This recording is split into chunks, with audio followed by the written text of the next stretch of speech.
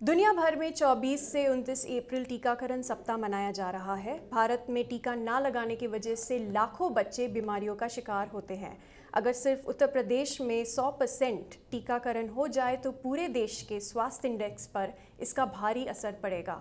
आज हम नज़र डाल रहे हैं कि यूपी के सामने टीकाकरण की क्या बड़ी चुनौती है, जहाँ 50 परसेंट बच्चों को बीमार होने का खतरा बना रहता है। देखिए ये खास रिपोर्ट।